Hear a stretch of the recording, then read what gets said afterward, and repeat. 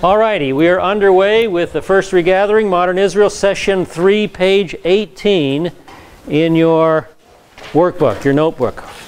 All right, let's do a quick review as to where we were last week. Last week we started our introductory material by asking the question, what is Zion? This is the biblical introductory material to the modern state.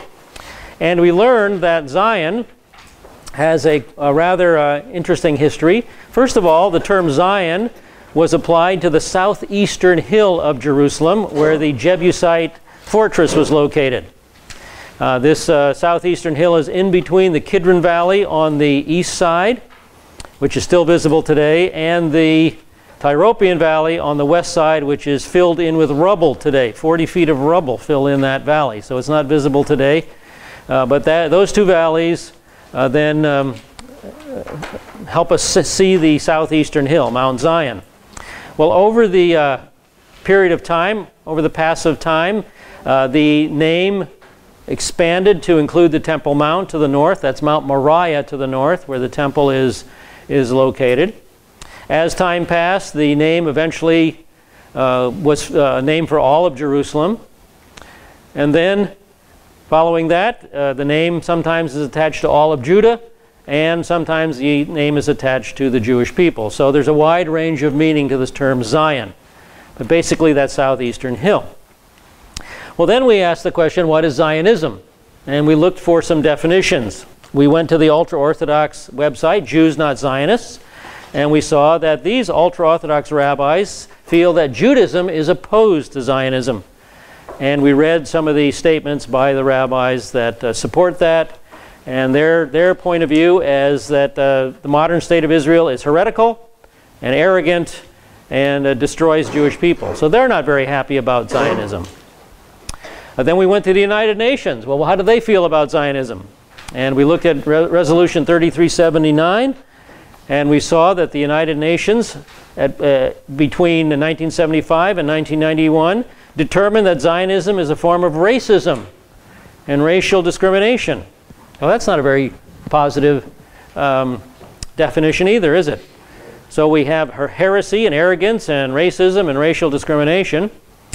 Then we went to uh, Stan Rittenhouse, the anti-Semitic Christian, and his book, The Fear of the Jews. And his opinion was that during this period of time between the first and second coming of Jesus Christ, a satanic counterfeit political Zionism masquerading as the state of Israel will be established. So he feels that the modern state is satanic in nature. And then we went to the Palestinians. What do the Palestinians think of Zionism? And in section 22 of the Palestinian Charter, they say that Zionism is a political movement that is racist and fanatic and aggressive and expansionist and colonial and fascist. How many of you guys have been to Israel? Would you describe Israel as that way? No, I don't think you would. Then we went to the Bible what does the scripture say about Zionism? And Dr. Fruchtenbaum offered a, a definition based on the Bible. The word Zionism describes a feeling. Zionism as an expression of the longing and yearning that the Jewish people have had in the past and still have for their homeland. As soon as any Jew expressed a desire to go back to his land, he is expressing Zionism. And of course, that was supported by, we just looked at one section of Scripture, Psalm 137, verses uh, 1 through 6, where you can, you can just feel the emotional attachment of the Jewish people to, to um, the land of Israel. But Zionism is not simply a subjective emotion. It has other biblical evidence behind it. So the, uh, there's a number of covenants that support Zionism. So we began to look at the Abrahamic covenant. And remember, the Abrahamic covenant was made with Abraham, Isaac, Jacob, and then passed on to the 12 tribes and it consists of three basic, three basic promises. The first promise is the land promise. That's the one we're most interested in, the land of Israel. And it's twofold. God says to Abraham, I will give the land to you, Abraham, and to your descendants after you. So that's the first promise of the Abrahamic covenant. Second promise is the national promise. Again, twofold. Uh, I choose your family as the chosen people. So there's national election there. And your family will have a unique relationship with the Gentile nations, with the rest of the world. Those who bless you will be blessed, those who curse you will be cursed. So that's the national promise. And the third basic promise is the spiritual blessing promise, again twofold. I will bless you, Abraham, and you will be a blessing to others. Now, as we looked at the Abrahamic covenant and its three promises, we also learned that it is an eternal covenant, and we learned that it is an unconditional covenant, meaning it's unilateral. Its fulfillment depends on God alone. It does not depend on what the Jewish people do or do not do. God said, I will do this. And uh, so Abraham was instructed to put together the, the uh, ancient Near Eastern uh, covenant ritual. Uh, this is a, a, ritual that is very common in the ancient Near East. You would take some animals, so he takes the animals that God prescribes and he slaughters them and he cuts them in half and sets uh, the pieces of the carcasses uh, side by side so there's a path between them. And the people who were entering into this contract, into this covenant, would walk between the pieces. And basically, they were uttering a self curse upon themselves. The idea was, may what happened to these animals happened to me if I don't fulfill my end of the bargain. That, that's how covenants were signed and sealed in those days. And then we uh, saw that uh, the, the wild birds, the birds of prey that came down and wanted to feed off the carcasses, were were um, chased away by Abraham. And uh, the question was asked, what could the birds signify? And uh, there's a lot of opinions about what the birds could signify, but I think the uh, most conservative opinion that fits the context best, remember context is king, uh, is found in the Bible Knowledge Commentary. There the commentator said, uh, God's announcement of Israel's enslavement in verses 13 and 14. Now, back in verse 10, it states that Abraham chased the birds away. So these are a few verses later. God's announcement of Israel's enslavement in verses 13 and 14 clarified the meaning of the attacking birds. Uh, they would represent e Egypt or anyone who would attack the covenant and want to defile it. Egypt, like birds of prey, opposed the covenant but ultimately, the covenant will be fulfilled. God promises the Jewish people, I am giving you this land. And I will see that the, my covenant finds its fulfillment. And again, that was um, that promise was again illustrated when uh, darkness came and a deep sleep fell upon Avram, and he did not walk through the pieces of the of the covenant signing ceremony but he watched God walk between the pieces in the form, two forms of the Shekinah glory. One form was the blazing torch. That would be symbolic of the pillar of fire that led the Jewish people out of Egypt. And the other form of the Shekinah glory was the uh, smoking fire pot. And that would portray the pillar of smoke that led the people out of Egypt during the day. The pillar of fire at night, the pillar of smoke during the day. So here is a visual, audio-visual representation to Abraham of the promise that his people would go into exile for 400 years, but God would punish the nation that enslaved them and he would bring them out into the land. So he's encouraging Abraham with the uh, surety of his promises. Now, as we looked at the boundaries of the promised land, and I didn't, I didn't go through all the verses in relation to that, but I gave you my conclusion regarding the boundaries of the Promised Land, from the Wadi al-Arish in the south to the, uh, the Euphrates River in the north.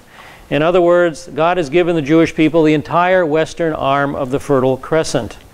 And I think you can see that the Jewish people have never possessed all of the Promised Land, and we do not do so today. Um, we possess perhaps 30% of the Promised Land today. And remember, we ended by pointing out the fact that the peoples that lived in this territory were the Canaanites. And the iniquity of the Amorites, the Canaanites, reached its fulfillment, and God had them dispossessed from the land. And these people groups have all disappeared from history. They're all gone. They were not Arabs, they're all Canaanites. It wasn't until some 2,800 years later that the Arab people, the Muslims, came out of the Saudi Arabian Peninsula and populated the land in any great numbers, 2,800 years later.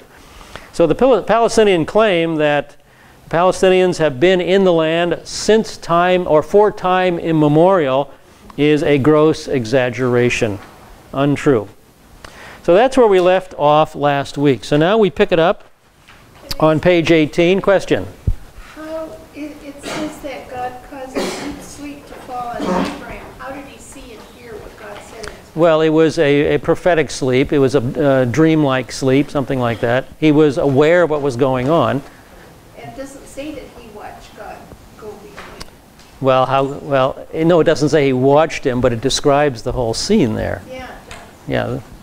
Okay. So, well, Abra- the point is, Abraham did not pass through the pieces. That makes it a unilateral covenant. It's dependent on God alone. God has taken the responsibility alone for the for the, uh, the fulfillment of the covenant. All right, um, let's go on to page 18, and we'll take a look at the next covenant that biblically supports Zionism. It's the Palestinian covenant, or as I prefer to call it, the land covenant.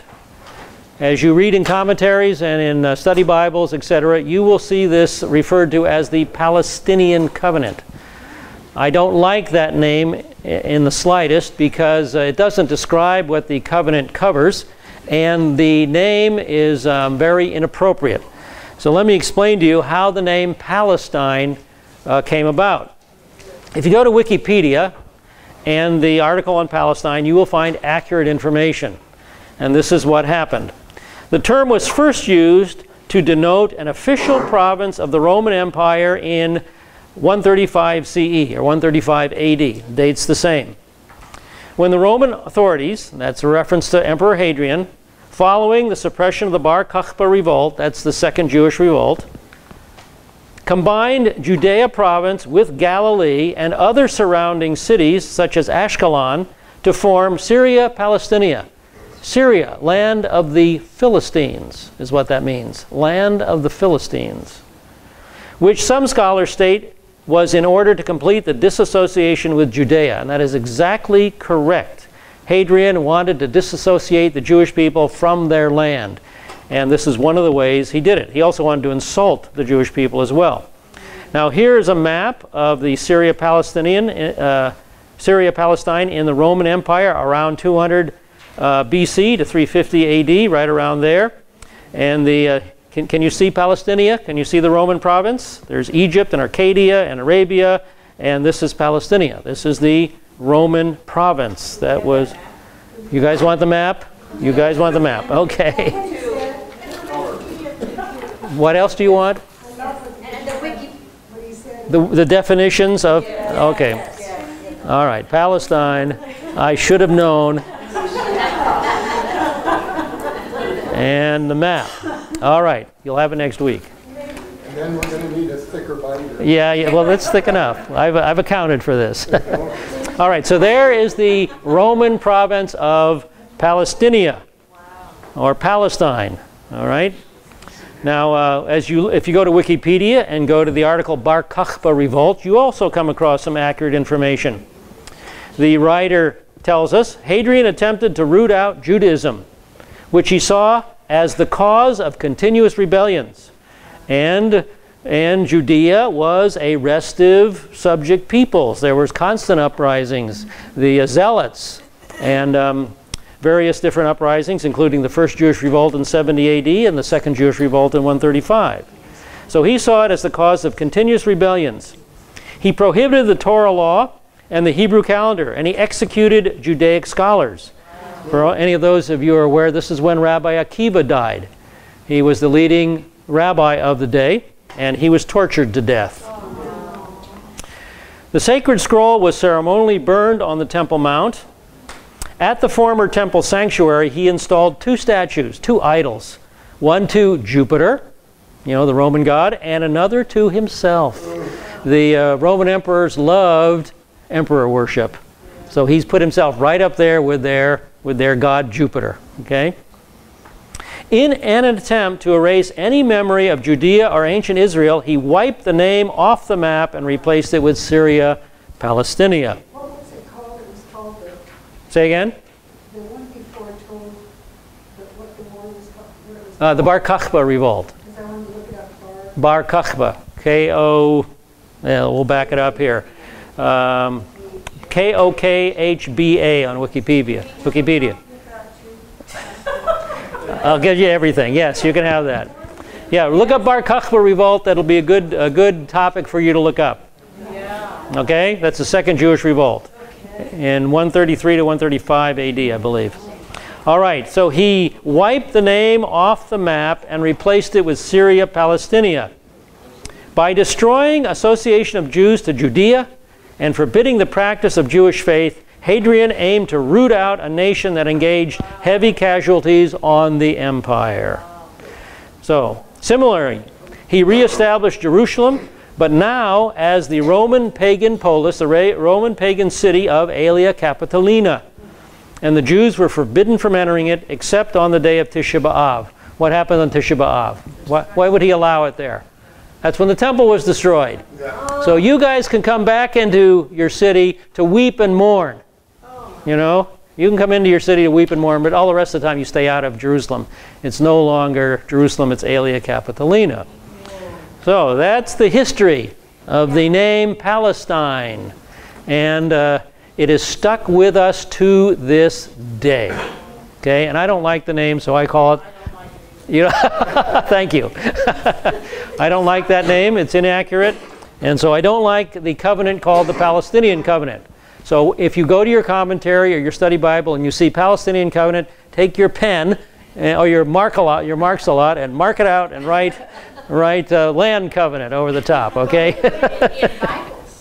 Oh yeah, you'll see it in Bibles. Oh yeah, sure, of course.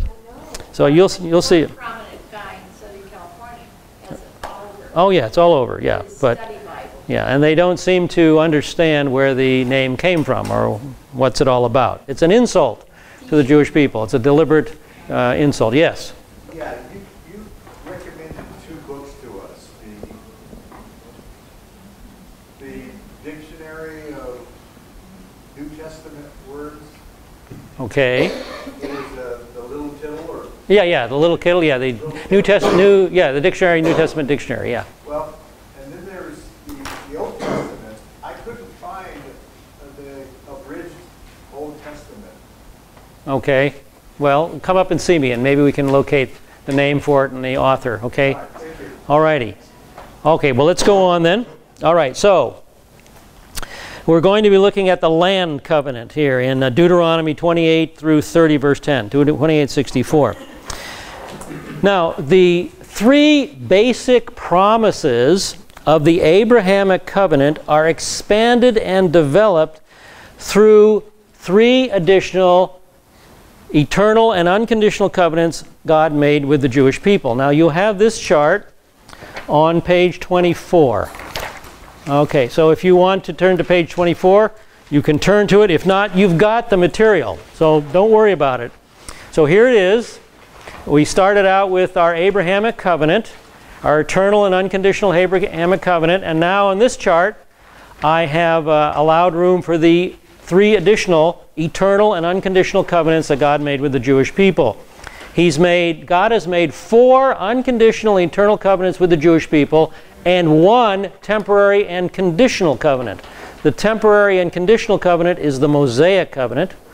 And these other four covenants are different. It's, they are eternal and unconditional. Okay? So that's the, uh, the difference. So, first of all, here, the spiritual blessing promise of the Abrahamic covenant is it expanded and developed by the new covenant of Jeremiah 31 and Ezekiel 36.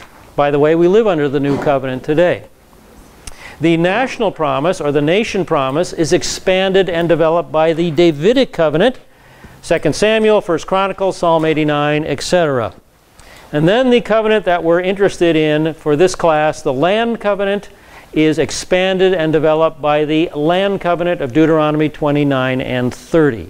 All right, does that make sense? Okay? They're all tied in that way. So the emphasis of the land covenant is, of course, on the territory, the land of Israel itself. So this land covenant will develop that promise to a greater degree. Now, before I go any further, I think it's important that I explain to you the uh, fact of disobedience and discipline for disobedience that exists under these unconditional eternal covenants. Even though a covenant is unconditional and eternal in nature, it does not exe- exempt the recipients from covenant responsibilities. You know, you don't get a free pass just because you're Jewish, and we don't get a free pass just because we're living under the new covenant today. If the recipient of an unconditional eternal covenant is disobedient, they will suffer discipline. Now, the covenant will remain in effect, even though the covenant partner is disciplined, because it's a unilateral covenant. It depends upon God alone, not upon the behavior of the covenant partner. But discipline does hang over our heads for disobedience. Also, so with that said, what are the disciplines associated with the Abrahamic covenant? So we're on page 18 right now, and we'll start in Genesis chapter 17. Now, uh, you, if you have your Bible with you, that's fine, but remember, every verse we discuss is going to be put up on the overhead. So uh, you don't have to have your Bible with you, but um, you can, of course, if that's more comfortable for you. Genesis chapter 17, verse 1. Now, when Avram was 99 years old, the Lord appeared to Avram and said to him, I am God Almighty, walk before me and be blameless. So we have the command here for Abraham to be obedient. He is to live upright. He is to be sincere in heart and speech and behavior. In other words, he's to develop godly character. He's expected to behave as a godly person. All right, let's move on to verses 2 through 8. I will establish my covenant between me and you, and I will multiply you exceedingly. Avram fell on his face, and God talked with him, saying, as for me, behold, my covenant is with you, and you will be the father of a multitude of nations. No longer shall your name be called Avram, but your name shall be called Avraham. For I will make you the father of a multitude of nations. I have made you exceedingly fruitful, and I will make nations of you, and kings will come forth from you.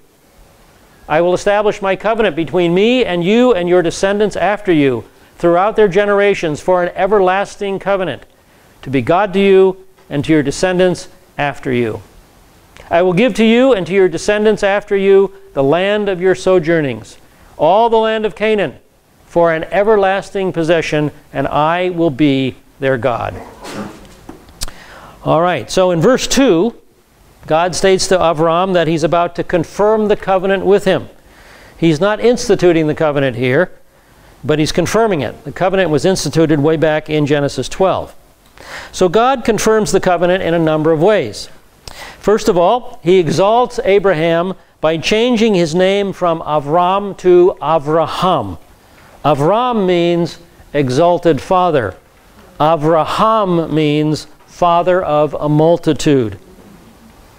Now, this was realized when the descendants of Abraham became the progenitors of whole nations. And that's where the, uh, that's where the uh, Arabs people, Arab people consider Abraham, and he is their progenitor. Okay, they are descendants of Abraham. So this change from Avram to Abraham was further evidence of God's determination to fulfill the covenant. Now, in the ancient Near East, a change of name is an advertisement of some new circumstance in the history, the rank, or religion of the individual that bears the name. So, this is a big deal in Abraham's life. This is a major event in his life. Well, then, as we move on, the nature of the covenant is repeated. It's an everlasting covenant. I'm sure you recognize that as we read through it.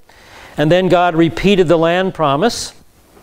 And after repeating the land promise, we come to the conditional expectations. We're on page 19 if you're following along there. We'll pick it up on verse 9. Genesis 17 9. God said further to Abraham, Now as for you, you shall keep my covenant, you and your descendants after you, throughout their generations. This is my covenant which you shall keep between me and you and your descendants after you. Every male among you shall be circumcised, and you shall be circumcised in the flesh of your foreskin, and it shall be the sign of the covenant between me and you. And every male among you who is eight days old shall be circumcised throughout your generations. A servant who is born in the house, or who is bought with money from any foreigner who is not one of your descendants. A servant who is born in your house or who is bought with your money shall surely be circumcised. Thus shall my covenant be in your flesh for an everlasting covenant. So not only is Abraham expected to live righteously in the command in verse 1, he's required to circumcise all the males in his household. So he is to obey in this manner as well. Now, circumcision was nothing new. This practice was uh, practiced elsewhere in the ancient Near East, but here it achieved new meaning. It would remind Abraham and his descendants of the everlasting covenant. So for Abraham's family, it was a symbol of the covenant. Now let's move, move on to verse 14. Here, here we come to the discipline.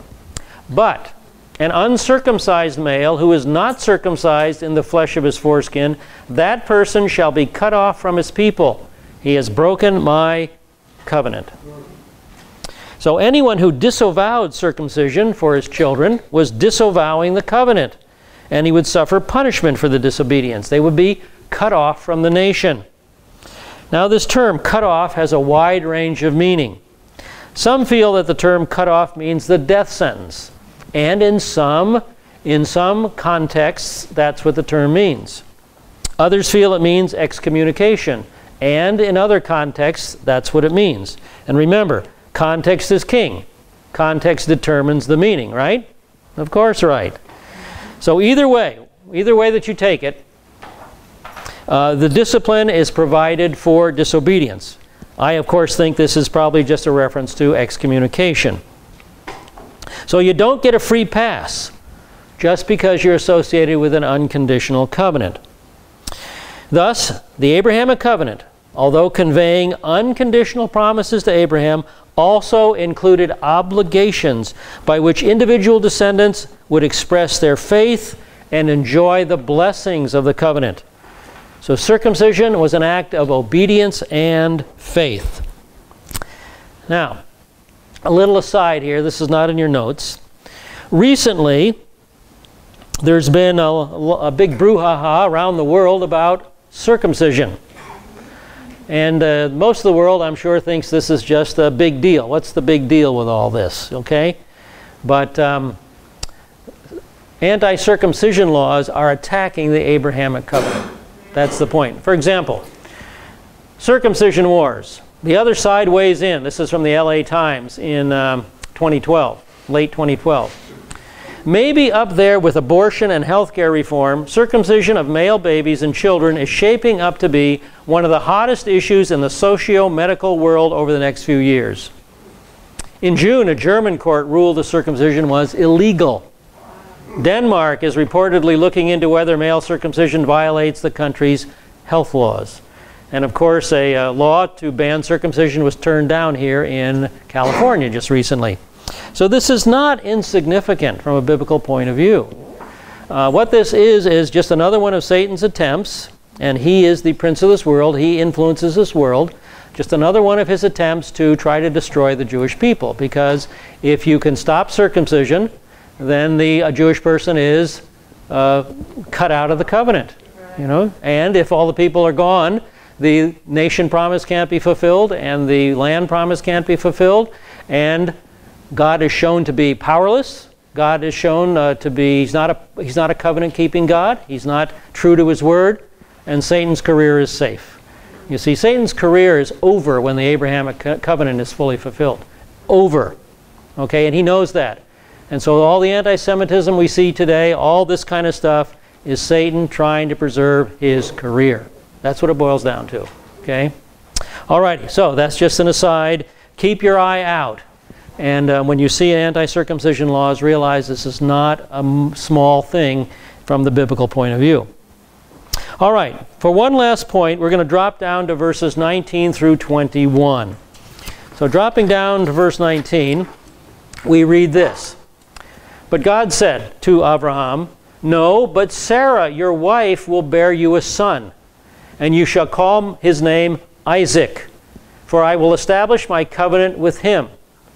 Uh, Abraham was saying, oh, Establish your covenant with Ishmael. Remember the child of the uh, Egyptian handmaid. But God says, my, I will establish my covenant with Isaac for an everlasting covenant for his descendants after him. As for Ishmael, I have heard you. Behold, I will bless him. And this is the Arab peoples. This is the Arab peoples that came out of Ishmael. I will bless him and make him fruitful and will multiply him exceedingly. And he'll become the father of 12 princes and I will make him a great nation. Has that happened? Yeah, that's happened. But my covenant I will establish with Yitzhak, with Isaac, whom Sarah will bear to you at this season next year. Very clearly, the covenant goes through Abraham, Isaac, Jacob, and the 12 tribes.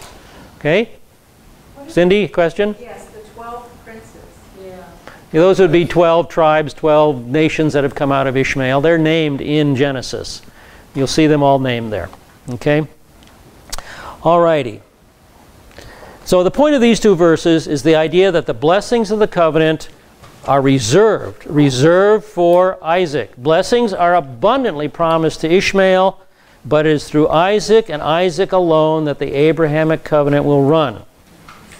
So that's the conditional or obedience requirements of the Abrahamic covenant. Abraham is unconditionally promised an eternal covenant, but to experience the benefits of the covenant, his descendants must practice obedience. Now, the new covenant, page 20. If you're following along, we're on page 20. What is the discipline for disobedience in the new covenant? All right, let's begin in Jeremiah 31. This is the new covenant. Behold, days are coming, declares the Lord, when I will make a new covenant with the house of Israel and with the house of Judah. Not like the covenant which I made with their fathers in the day I took them by the hand to bring them out of the land of Egypt. That's the Mosaic covenant. We entered into the Mosaic covenant at Mount Sinai shortly after leaving Egypt. My covenant which they broke. The Mosaic covenant was broken by Israel over and over again. Although I was a husband to them, declares the Lord. But this is the covenant which I will make with the house of Israel after those days, declares the Lord. I will put my law within them, and on their heart I will write it, and I will be their God, and they shall be my people. They will not teach again each man his neighbor and each man his brother, saying, Know the Lord. For they will all know me, from the least of them to the greatest of them, declares the Lord. For I will forgive their iniquity, and their sin I will remember no more.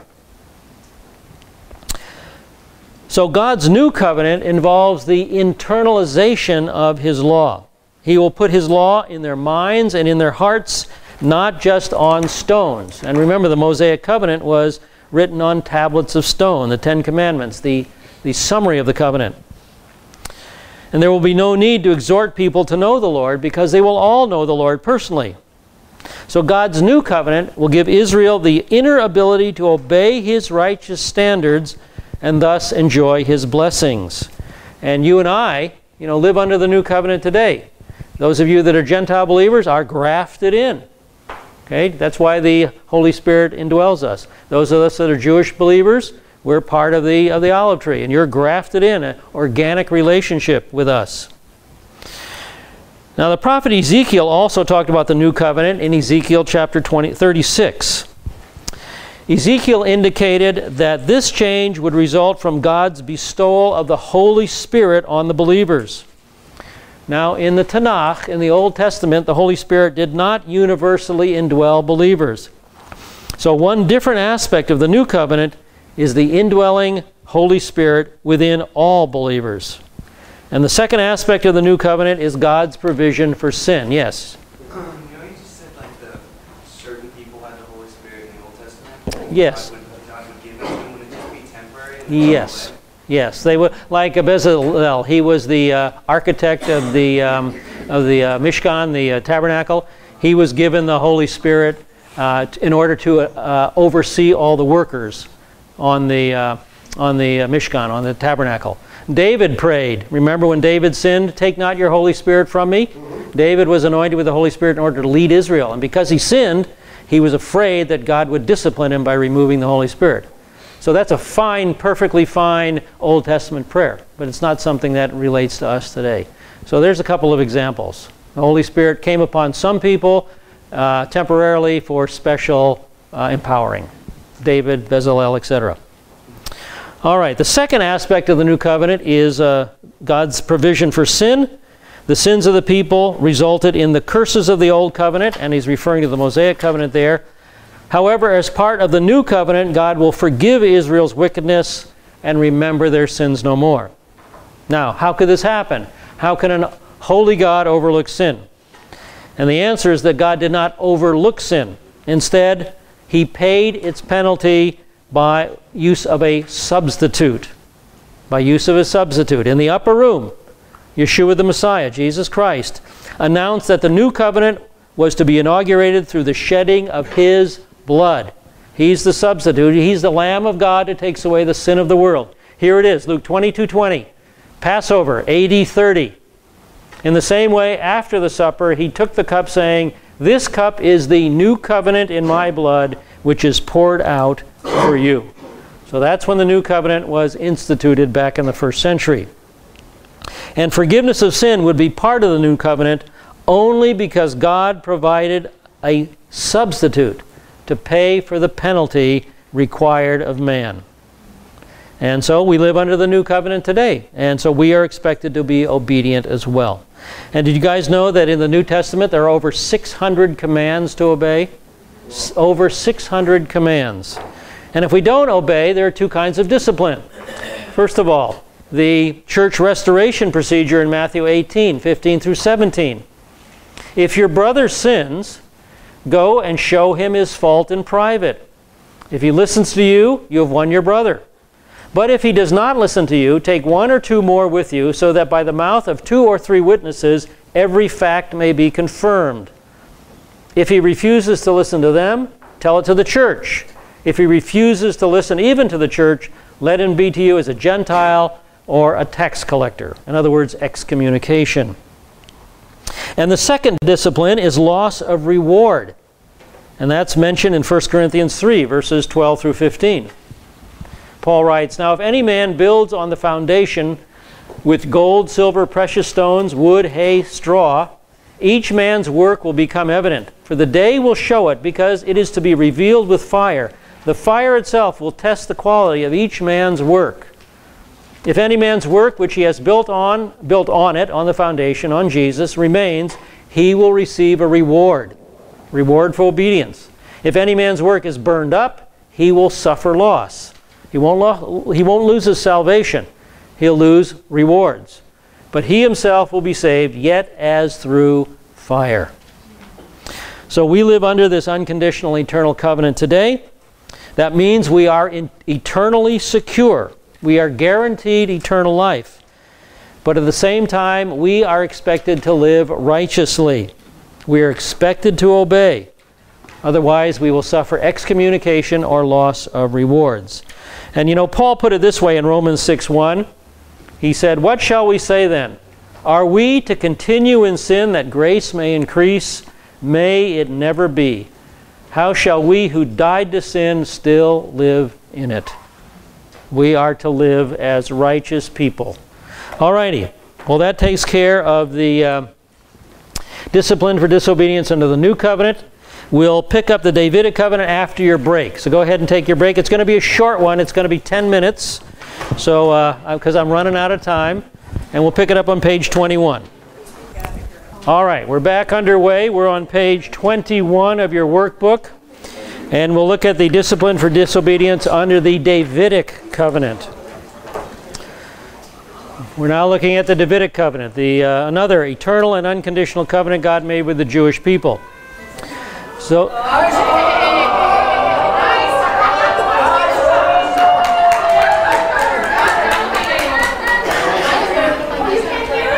I can hear it. I can hear it. Should, she, should, should, chocolate ice cream? Even so, chocolate ice cream. Okay.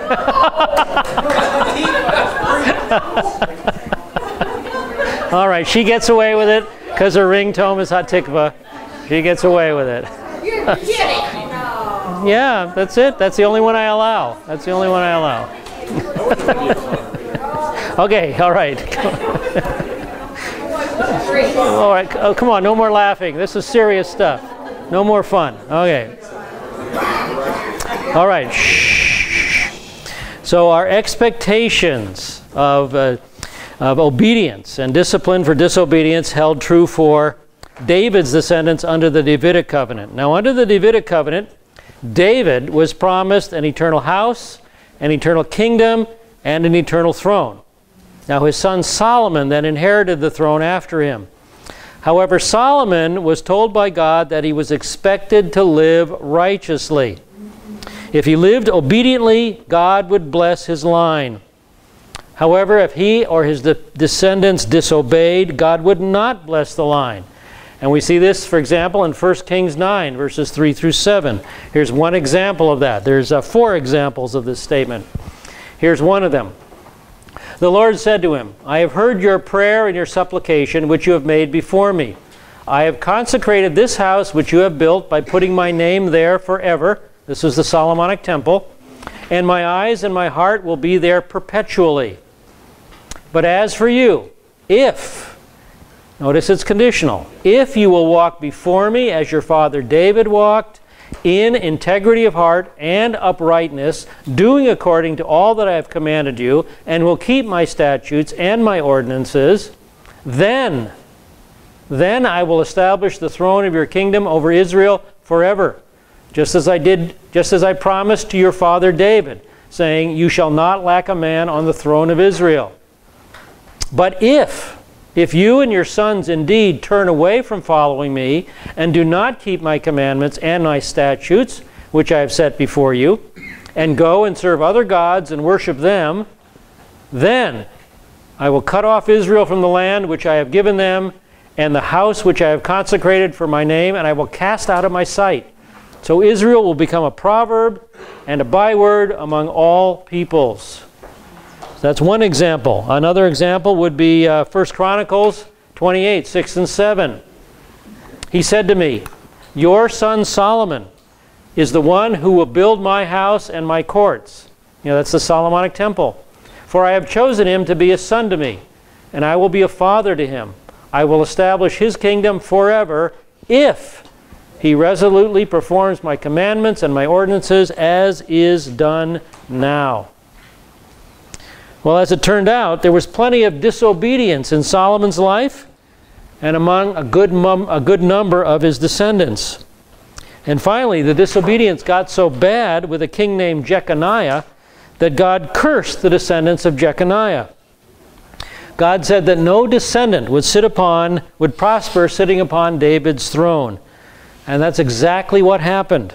No descendant of Je- Jeconiah ever prospered on David's throne. Only one, Zedekiah, reigned as king, but he did not thrive. He did not prosper. He was taken into Babylon. No, Say again? I have, I need help. Okay. The Davidic covenant is conditional or unconditional? It is unconditional to David. It's conditional to his descendants. David will have the eternal throne and kingdom, etc. But it depends on the obedience of his descendants uh, who the line will go through. Okay? So the if-then is all about. the- His descendants. David will have the covenant fulfilled to him. Okay. So the rest of uh, Solomon's or Zedekiah's descendants never reigned as king. Now, with the Jeconiah curse, the promise of a king on David's throne passed from Solomon's line to the line of another descendant. And that other son of David was Nathan. And we know from the New Testament that both the line of Solomon and the line of Nathan are traced. Now, Matthew traces Joseph's gene- genealogy down through Jeconiah and down to Solomon and then to David. And Matthew points out that Jesus is not Joseph's son. If he was, if Jesus was Joseph's son, he could not sit on David's throne because of the Jeconiah curse. Now, Luke, on the other hand, traces the genealogy of Jesus down from Jesus through Mary to Nathan and then to David. So Jesus can sit on David's throne because he is a direct blood descendant of David through Nathan. And no curse is associated with Nathan's line. Now, the Davidic covenant is an eternal, unconditional covenant. David will have his eternal throne, his eternal kingdom, and his eternal house. But Solomon and his descendants forfeited the messianic line through disobedience. So that is the discipline for disobedience associated with the, with the Davidic covenant, the forfeiture of the messianic line. Solomon lost it. Now, let me summarize. The discipline for disobedience under the Abrahamic covenant was to be cut off from your people. Under the new covenant, the discipline for disobedience is confrontation under the restoration procedure or loss of rewards in the kingdom. Under the Davidic covenant, the discipline was forfeiture of the messianic line through Solomon. So, with that background, let's take a look at the land covenant. So, we're now on page 22. This is the covenant we're interested in the land covenant. Now, the purpose for this covenant arose out of certain statements made in the Mosaic covenant. Remember, the Mosaic covenant is temporary and conditional. Now, it was clear from Moses' own prophecies in chapter 28 of Deuteronomy, chapter 4 of Deuteronomy, Leviticus 26, that Israel will fail to keep the Mosaic law. This failure to keep the Mosaic law will bring on discipline and eventually there would be a worldwide dispersion. That's what the Mosaic Law predicted. A worldwide dispersion will come because of failure under the Mosaic Law, under the Mosaic Covenant. And the key reference to this is Deuteronomy 28, verses 15 through 68, and we will just look at verses 64 through 68, the very end of that section. In regard to the curses of the covenant, God says, Moreover, the Lord will scatter you among all peoples, from one end of the earth to the other end of the earth. That's why I'm living here in Southern California. And there you shall serve other gods, wood and stone, which you or your fathers have not known. Among those nations you shall find no rest, and there will be no resting place for the sole of your foot. But there the Lord will give you a trembling heart failing of eyes, and despair of soul. So your life will hang in doubt before you, and you will be in dread night and day, and shall have no assurance of your life. In the morning you shall say, Would that it were evening. And in the evening you shall say, Would that it were morning. Because of the dread of your heart which you dread, and for the sight of your eyes which you will see. Lord will bring you back to Egypt in ships, by the way about which I spoke to you. You will never see it again. And there you will offer yourselves for sale to your enemies as male and female slaves, but there will be no buyer. Pretty serious stuff, huh? Pretty serious stuff. Now, the question that can be raised is this Does Israel's failure under the Mosaic covenant render the promises of the first covenant, the Abrahamic covenant, null and void? And the answer is no. The land covenant teaches that after a period of worldwide dispersion out of the land, there will be a worldwide regathering back to the land. Now, the uh, provisions of the land covenant are found in Deuteronomy 29 through Deuteronomy chapter 30, verse 10. Now, we're going to, uh, if you go to page 24a, you will find these four slides. So I'll just build these slides in front of you, but you have these slides on your handout, page 24a. You got that all? Okay. Now, verse 1 clearly differentiates the land covenant from the Mosaic covenant. So, Scripture is Deuteronomy 29, verse 1. And the point of Deuteronomy 29, verse 1, is that this is a distinct covenant. Here's how it's worded Deuteronomy 29, 1. These are the words of the covenant which the Lord commanded Moses to make with the sons of Israel in the land of Moab, besides the covenant which he made with them at Horeb. All right, so in your chart, there's the, there's the significance. It's a distinct covenant made in Moab and it's in addition to the covenant made at Horeb. Now, here's the map of the Middle East. Here is the plains of Moab, north of the Dead Sea. Down south, this is the Horeb mountain range. So we have two different locations two different covenants, 40 years apart. Make sense? Okay, two different covenants. All right, so there's our first verse. Then he's going to entreat uh, the Jewish people to enter the land covenant sincerely. And, and so that's point uh, 2 here.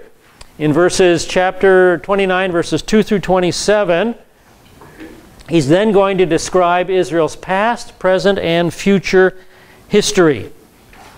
And that's going to be characterized by disobedience. This is one of the reasons why I believe the scripture is um, inspired by God, because if I was writing the history of my people, I wouldn't write that our history is characterized by disobedience. You know, I'd write us in, up in positive terms. I'd have a positive spin on it, okay? But Scripture is honest, okay?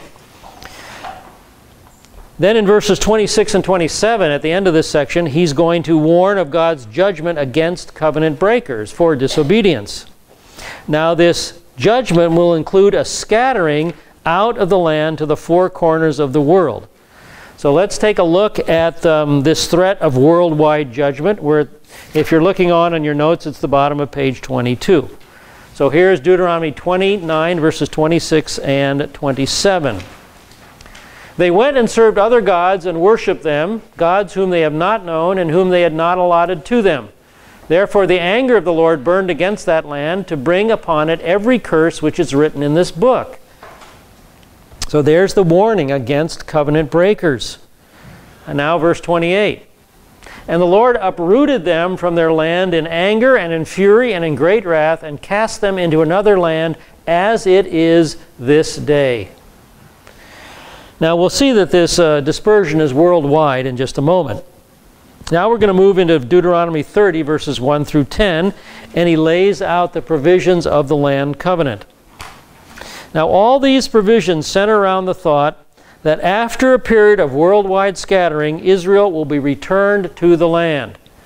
So here's uh, aspect number two. We move now on to aspect number three. Deuteronomy 29, 28 through verse chapter 30, verses 1 and 2. Aspect number 3 deals with the dispersion. And the dispersion will be worldwide in nature, but at the end of that dispersion, God promises Israel will repent, will change our mind. So let's take a look at these verses. We pick it up on verses 1 and 2 of chapter 30.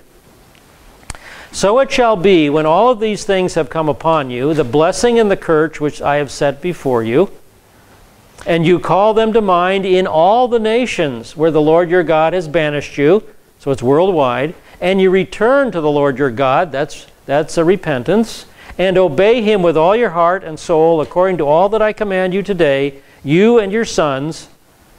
So there's that uh, description of a worldwide dispersion with the repentance at the end of it. And now we come to verses 3 through 10.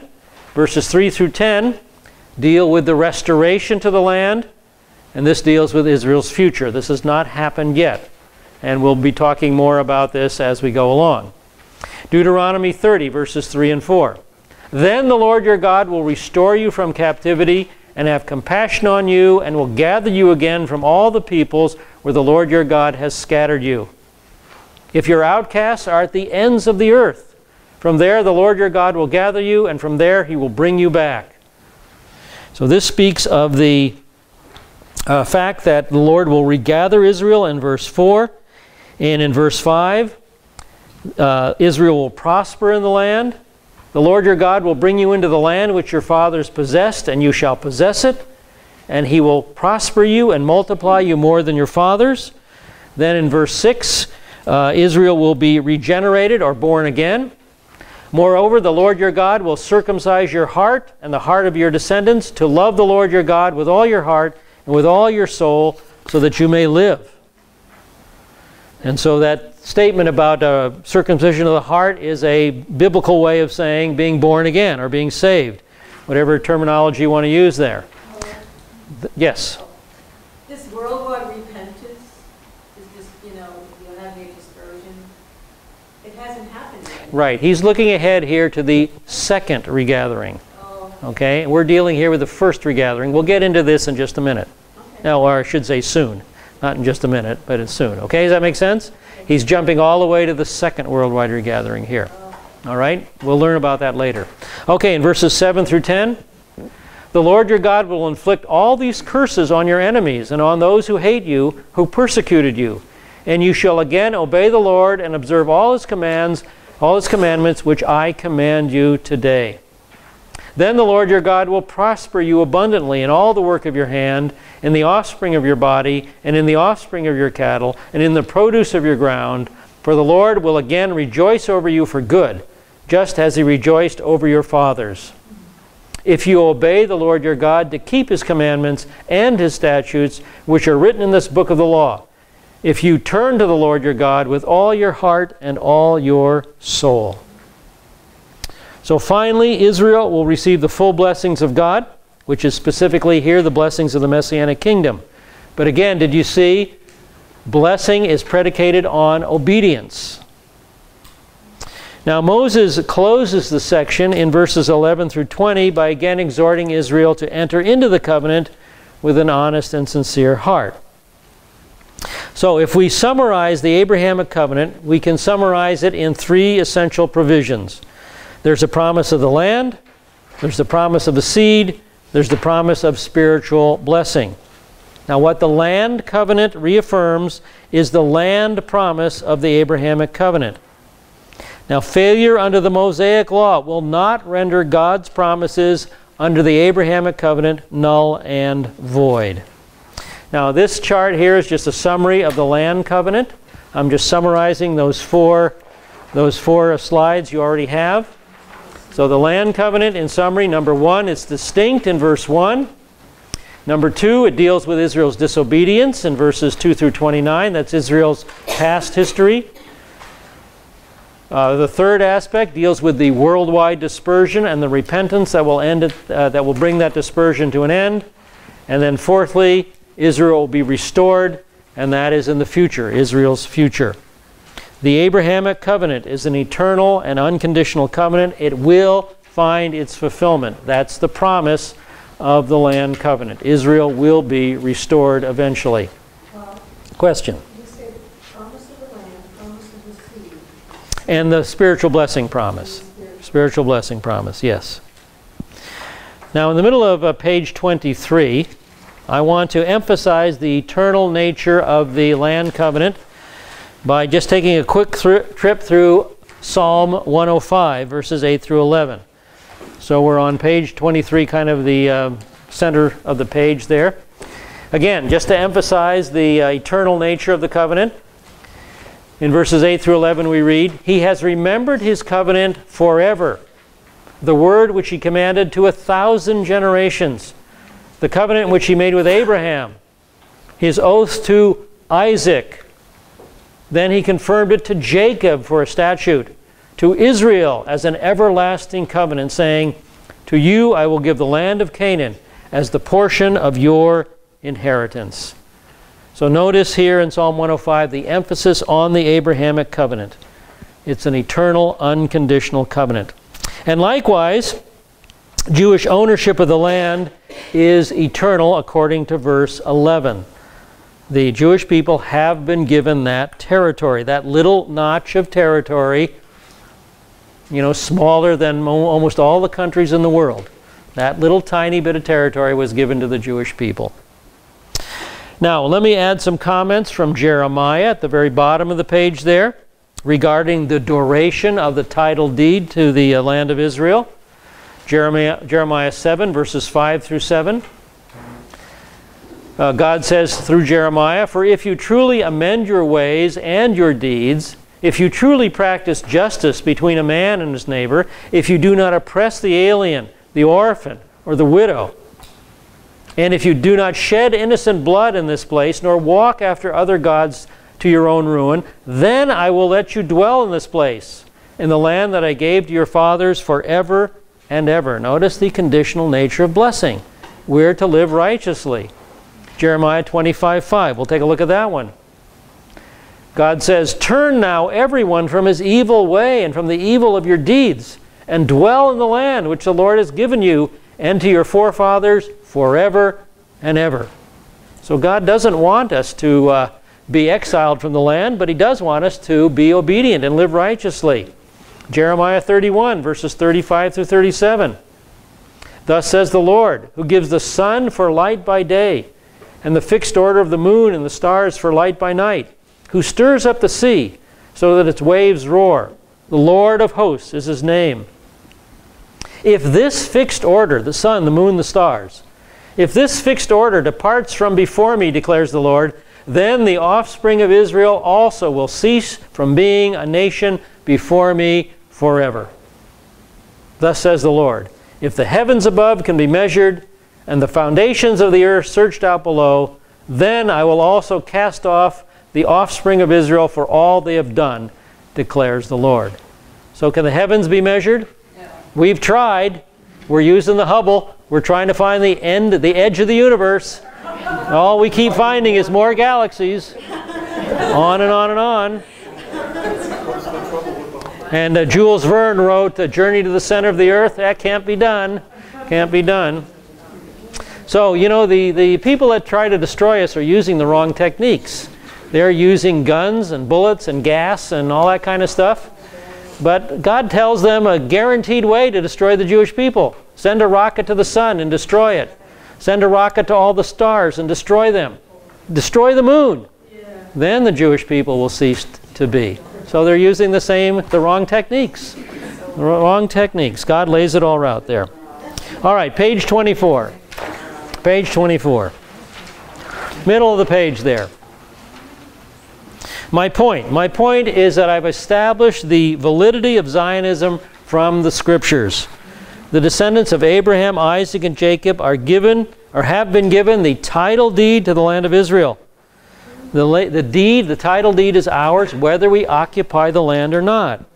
In fact, it's predicted in Scripture that there will be a time of worldwide dispersion out of the land followed by a regathering. Now, there are two regatherings we'll learn in Scripture. And the modern Zionist movement, that's the subject of this course, is a brief look at the first regathering. So, Zionism is not limited to subjective emotion. Emotional, it is, but it is backed by biblical support. Zionism and the Jewish return to our homeland is an important part of the plan of God for this world. Now, at this point, I have to disagree, and this is not in your notes, but I have to disagree with prominent church leaders of the current time. There are, there's a movement going on in the church today among evangelical Christians to, uh, it's called an, um, an anti Zionism, Christian anti Zionism. And I really have to disagree with these people. And here are some of these people. Now, the reason I disagree begins in Psalm 24, verses 1 and 2. Now, we've established Zionism as God's plan for this world, but who is the boss here? Psalm 24, verses 1 and 2. The earth is the Lord's. Okay, is the territory of Israel the Lord's? Yes. Is the United States the Lord's? Yes. And all that it contains, the world, and those who dwell in it, are you the Lord's? Yes. We are all subject to the King of Kings. Okay? For he has founded it upon the seas and established it upon the rivers. Now, we might rebel against this but uh, that's not going to stand because the earth and all who dwell on it belong to the Lord's. So we have to remember that. He's the boss. What he says goes. And then in Deuteronomy 32, we learn this fact Deuteronomy 32, 8, and 9.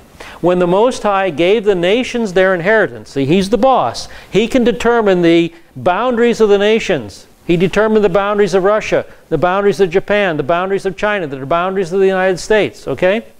When the Most High gave the nations their inheritance, he separated the sons of men. When he separated the sons of men, he set the boundaries of the peoples according to the number of the sons of Israel. So he took into account his chosen people whenever he set up the boundaries of the nations. Don't ask me any more than that. All I know is that God's in charge and that's what he did. All right? For the Lord's portion is his people. Jacob is the allotment of his inheritance. And he gave us this little sliver of land on the uh, western end of the Mediterranean Sea. And he gave many other nations a lot more land. But he did this uh, in consideration according to the number of the sons of Israel. So God is in charge, He's the boss. And so if He wants to uh, bring the Jewish people back, we have to uh, uh, accede to that. Now, Christian anti Zionism.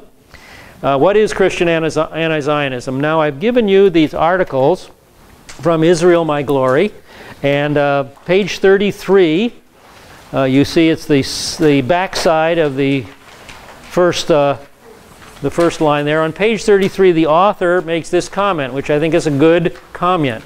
He says, Christian anti Zionists, and he abbreviates that CAZS. Christian anti Zionists are professing Christians who dispute the modern state of Israel's historical, legal, moral, prophetic, and or divine right to the promised land and the demarcated holy land of Scripture. Okay, that's the movement that's uh, out uh, in the Christian church today. Now, who are some of the people that are the forefront of this movement? Now, these are influential people. I disagree with them. What they teach is dramatically opposite of what I've just taught you. Be aware of these people so you'll, you'll understand where they're coming from. Stephen Sizer, Vicar of Christ Church, Surrey, United England, United Kingdom. He is one of the leaders in the Christian anti-Zionism movement. Uh, Gary M. Burge, Professor of New Testament at Wheaton College, Wheaton, Illinois. He is a Christian anti-Zionist. So be aware of that. Tony Campolo, speaker, author, sociologist, professor emeritus of sociology at Eastern University in Pennsylvania. Israel has no right to the land, is what he teaches. Uh, Lynn Hybels, author, activist, wife of Bill Hybels, senior pastor of Willow Creek Community Church, once the largest church in America in South Barrington, Illinois. I've been to that church. She does not believe that Israel has a right to the land. John Piper, former pastor of Bethlehem Baptist Church of Minneapolis, Minnesota, and founder of Desiring God. These are all influential people. I see, I hear your reactions. What? These are all influential people in the Christian church today, in the Protestant church, and they feel Israel has no right to the land. I disagree with them. You should be aware of this. You should be aware of this. It's in the article here. I'm just quoting from the article, okay? In the article, the author brings out some, um, some influential organizations. Israel My Glory, this is page 34 of Israel My Glory. He names a Knox Theological Seminary. Notice how Knox portrays themselves in their headline there. One of the top 20 seminaries in the U.S. So this seminary is training pastors. They teach that Israel has no right to the land. This is replacement theology. Be aware of it. Be aware of it. Know where people are coming from. Bethlehem Bible College. I've been to Bethlehem Bible College. Oh, I think it was 1995, 1996, uh, my first trip to Israel. I was at Bethlehem Bible College. We took a tour through that. We met the people. They are replacement. Israel has no right to the land. And most Palestinian Christians are replacement theology. Okay? So these are all influential people. Here's another guy. This is not in your article.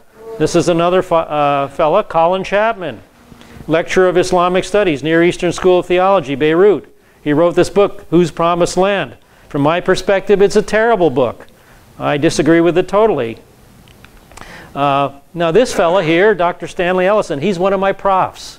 This is one of my profs from Western Conservative Baptist Seminary. I took classes under Dr. Ellisen. He wrote a book, Who Owns the Land? Okay, he did a big study on this subject, and what was his conclusion? I was shocked. This is one of my profs. This is page 174.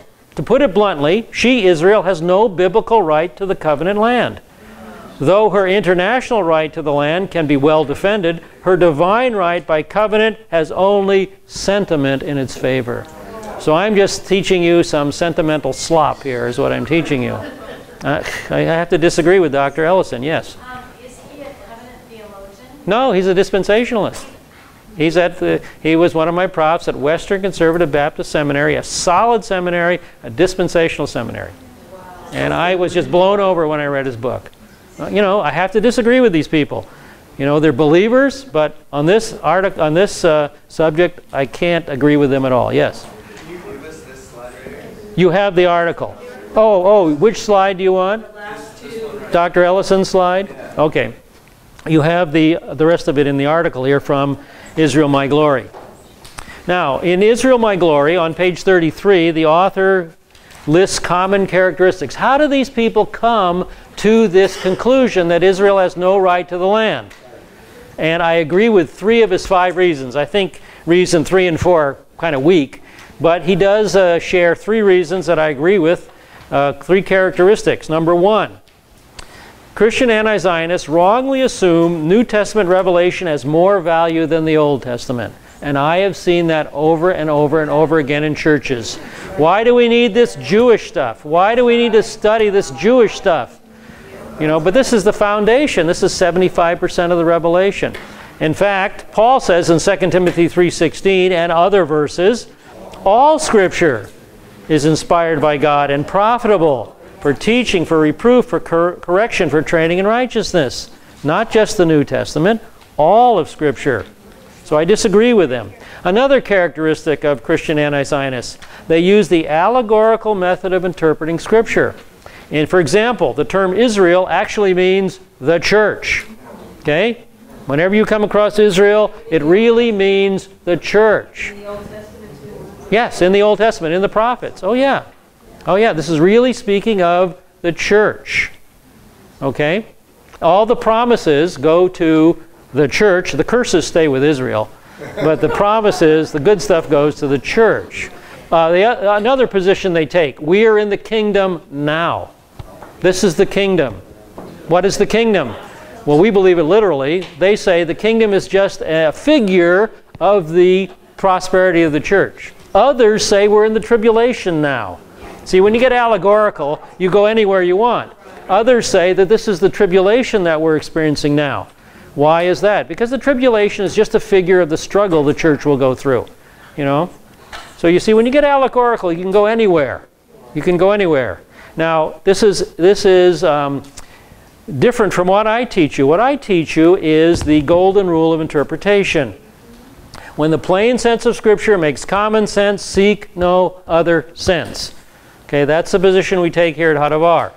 Therefore, take every word at its primary, ordinary, usual, literal meaning, unless the facts of the immediate context studied in the light of related passages and axiomatic and fundamental truths indicates otherwise. So that's a mouthful, but basically it means take the, the uh, writing of Scripture in context and literally, unless there's a darn good reason not to. So Israel means Israel, and the kingdom means the kingdom and the tribulation means the tribulation. They're not figures of speech. And the uh, fifth common characteristic, again, I disagreed with three and four. I didn't think that they were that strong. But I agree with this one. Christian anti Zionists evidence a lack of humility in their standing before God by their treatment of Israel. And he's right. This is what Paul experienced in the Roman church back in the first century. That's why he had to write Romans 9, 10, and 11. Because replacement theology had already reared its ugly head back in the first century. And a lot of churches skip over Romans 9, 10, and 11. In Romans 11, 18, he talks about the problem. This is his word, not my word. Do not be arrogant toward the branches. That's Israel. He's talking of the, he's, he, he's drawn the, um, the uh, olive tree analogy here.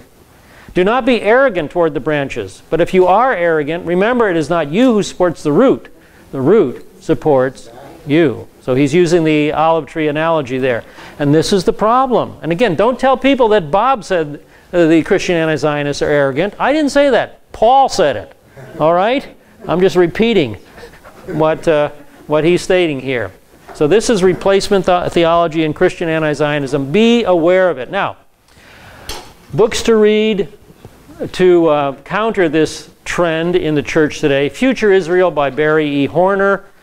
I would, I would recommend you getting this book, Why Christian Anti Judaism Must Be Challenged. He goes through this issue in detail of replacement theology and allegorizing the scripture. So I recommend this Future Israel by Barry E. Horner. And I also recommend Israelology by Dr. Fruchtenbaum, The Missing Link in Systematic Theology. Uh, this book contains everything the Bible teaches about Israel, past, present, and future. We have some copies here if anyone's interested in it. So, uh, Future Israel and Israelology. Two books I would recommend you get uh, to counter this trend uh, at least in your own thinking, okay? All right, well, enough of that. All right, I've kept you over by five minutes. I'm not going to apologize for that. Tough break. All right, let me pray, and we'll pick it up next week on uh, page um, on page 24, at the bottom of page 24, with the proph- prophetic significance of the uh, modern state of Israel as we work through this biblical background. You have to understand this background, or you'll never understand the modern state and what's going on in the world today. Okay, so let me pray. Father, again, we want to just stop and um, look to you and thank you for your word. And it's a very sobering word, Lord. We have the, the great promise of unconditional and eternal covenants that don't depend on us, you know, in our failures and our weakness. But your promises to us depend on you. And you will see that your promises are fulfilled. And we're very grateful for that. But we also see, Lord, that you do demand obedience from us, that we don't get a free ride. We don't just coast through this world, do anything we want. We don't. Uh, live in an unrighteous manner. We are to obey and live the way you uh, uh, command us to live, righteously. So help us, Lord. We struggle with that every day. I struggle with that. I know everyone in this room struggles with living the way you want us to live. So help us through your Holy Spirit to grow in our character so that we will become the type of people you want us to be. And we know that this will reach its fulfillment when the kingdom comes and the resurrection comes. So we look forward to that. But help us take this seriously every hour of every day. And we ask this in Yeshua's name. Amen. All righty, we'll see you next week.